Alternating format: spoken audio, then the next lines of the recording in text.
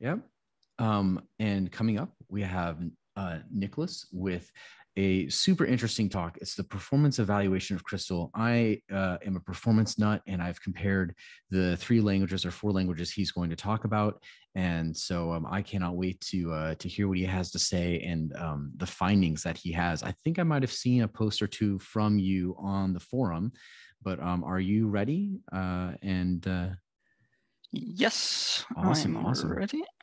Just gonna share my screen. Okay. Hello, everyone. My name is Nicolas Ganz. I'm a research assistant and part-time master student at Zurich University of Applied Sciences. During my studies, I've uh, did a few projects, uh, and one of these projects is the performance evaluation of Crystal, which I did with the help of my supervisor, Jürgen Spielberger.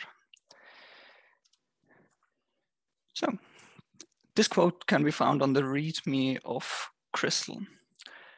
Uh, for myself, coming from Ruby, a few questions came to mind. First off, how fast is Crystal? Can Crystal keep up with C? And how do you even compare the performance of different programming languages? To answer the last question, I've had a closer look at benchmarking. In an optimal world, you would use a real world application and convert it into the different programming languages. Unfortunately, there are a few issues with that approach. First off, it's very complex and error prone, meaning that a tiny difference in implementation can have a huge impact on the performance.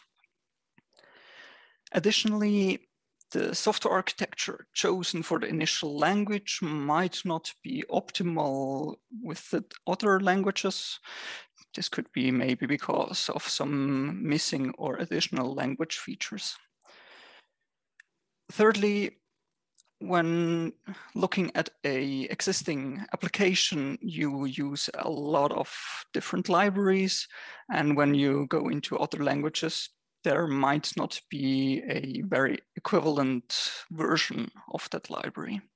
So for example, if you take a Ruby on Rails application and try to convert it to Crystal, of course, you can use the Amber or Lucky framework or anything like that, but I'm not sure if you're really measuring the performance of the programming language and not to a major part of the framework itself. So what was my workaround? I tried to identify uh, different parts that are used in real world applications and try to measure those. I tried not only to look at algorithms written entirely in the programming language, but also with the interaction with external sources. And I, I kept to just using the standard library of the uh, language. So which languages did I look at? Of course, Crystal, but also Ruby with or without just-in-time compilation, even though that's quite a unfair comparison since Ruby is interpreted. Then additionally, I've had a look at C. Uh, yeah, basically because it was written in the README and is known for its speed. And as a more modern approach of a fast programming languages, I've looked at Go. I've uh, detected some different performance tests. In algorithms, I've looked at different implementations of the Fibonacci sequence, mainly recursive and iterative. Then another uh, bigger part was the file handling, so reading, uh, writing files in smaller and larger chunks, as well as reading the files. In the last group, I have had some other uh, tests, for example, calling C bindings or the startup time, meaning I've measured the time within the programming language and from outside of calling that.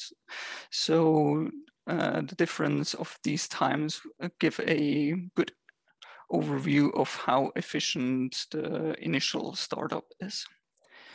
As a large uh, last test, I've looked at TCP sockets where I've built a TCP server in the uh, language and this just responds with a predefined HTTP response. And this I've tested with the benchmarking tool Siege. All right, so let's start to have a look at the different results. The measurements here are always a relative running time to crystal, meaning crystal has always a value of one. And uh, for example, a value of two would indicate that it takes twice as long as it took crystal. In this first chart, we'll focus on Ruby because yet we can't really see the other programming languages. So let's have a look at Ruby in red and Ruby with just-in-time compilation in violet here. We can clearly see that especially in the iterative Fibonacci uh, implementation, they're quite a lot slower than all the other languages just-in-time compilation has a great impact on the, the recursive Fibonacci implementations. But other than that, it's sometimes a bit faster or a bit slower, but in a uh, very similar range. One thing that uh, I found quite interesting was that the TCP sockets took the same amount of time in uh, all languages. So if we remove Ruby from the equation, then we get a, a bit of a better overview. What first sticks out are the, the C bindings, uh, in which Go, marked in green, takes quite a lot of time.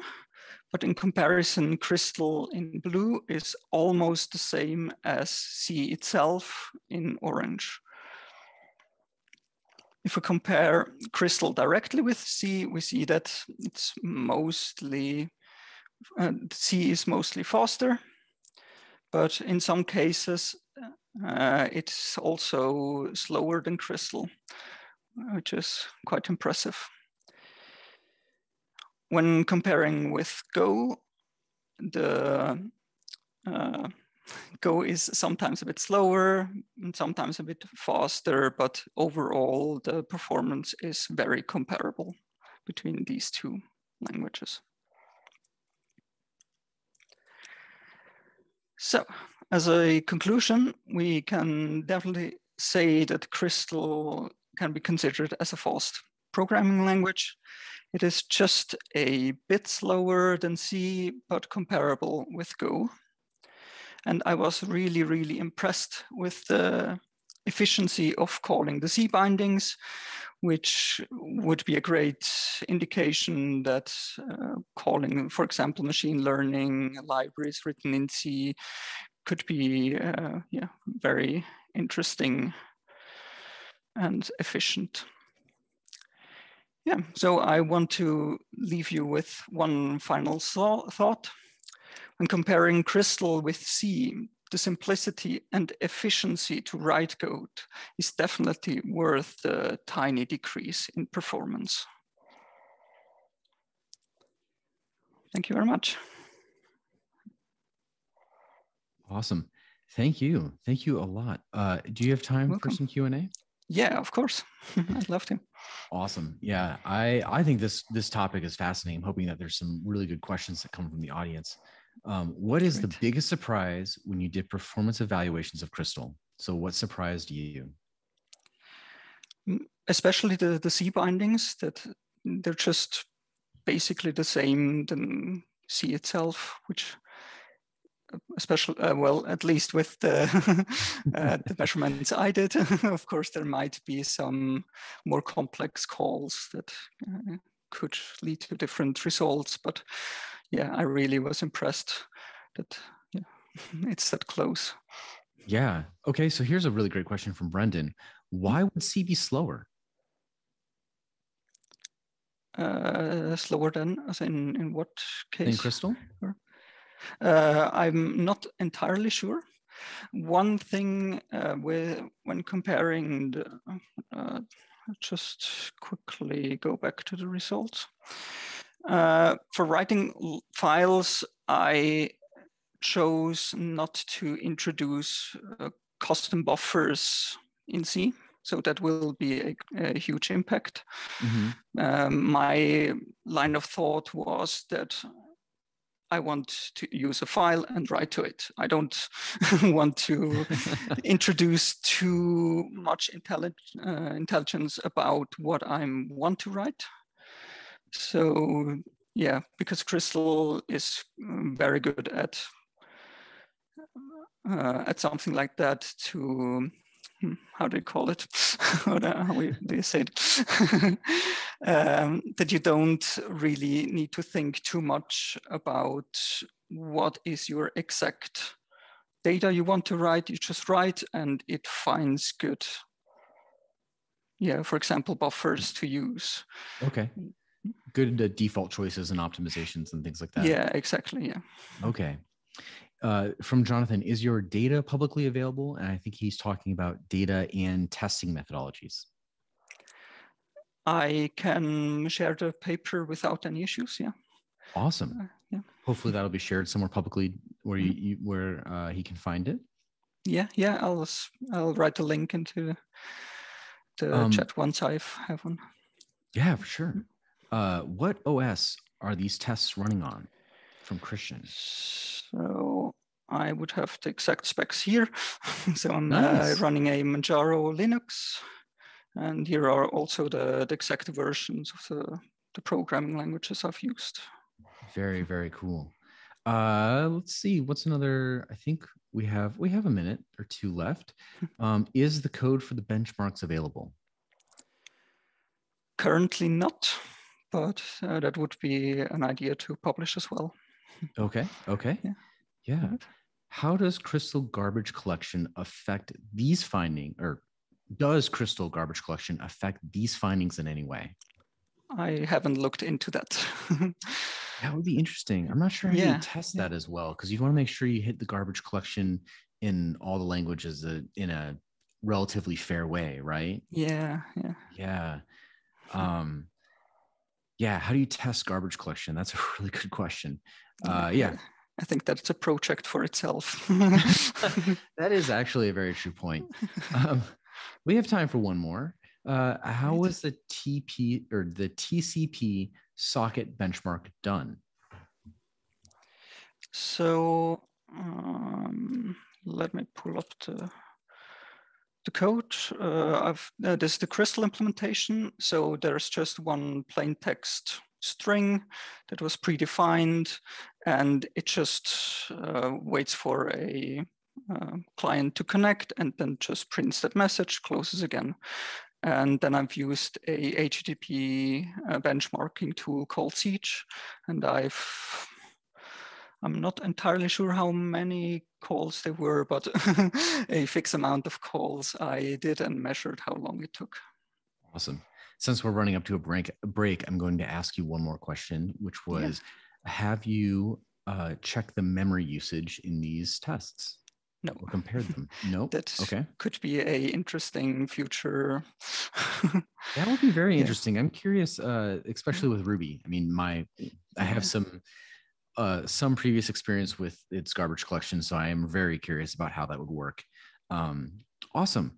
Well, thank you so much for uh, putting this together, and mm, we are going to move on to the break here.